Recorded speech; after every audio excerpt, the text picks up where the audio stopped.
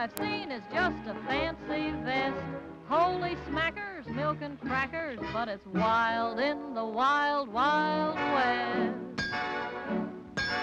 These little words I know can never show how really true I'll be.